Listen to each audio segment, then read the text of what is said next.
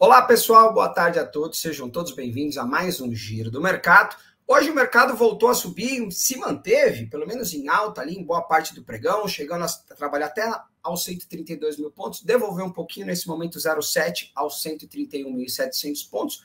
E o detalhe disso tudo é que o mercado está firme.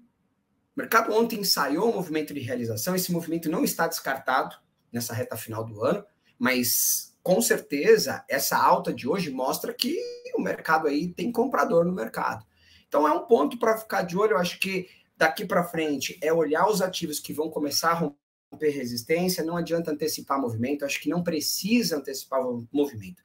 Essa é a mensagem do pregão de quinta-feira. Então vamos dar uma olhada rapidinho aqui nos, nos ativos, nos índices. Bolsa Americana caiu muito forte ontem.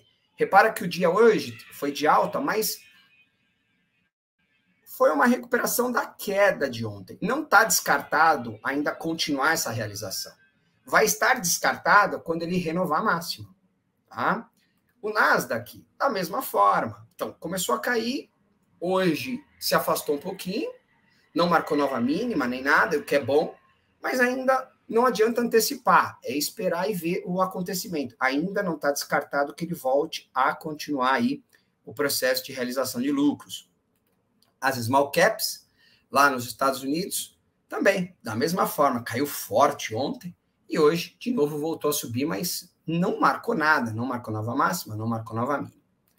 O Ibovespa acabou seguindo o mercado americano. Então, do Ibovespa, o que a gente viu foi um mercado quase marcando nova máxima e por enquanto não marcou nova mínima. Então, ficamos com 129.800 pontos como um primeiro destaque aqui para uma realização de lucros.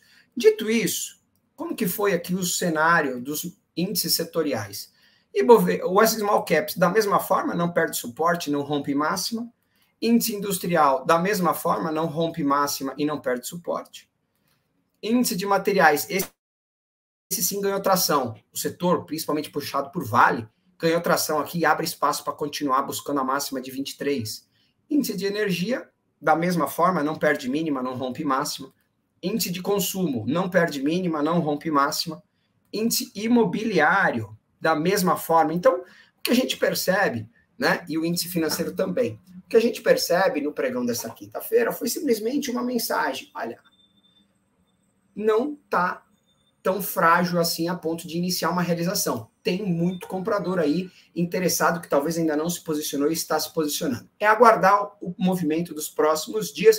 Sexta, terça que vem, quarta e quinta, para ver como que o mercado se acomoda, se vai fazer um novo zigue-zague ou se realmente está muito firme a ponto de seguir subindo aí em rumo a novas máximas históricas.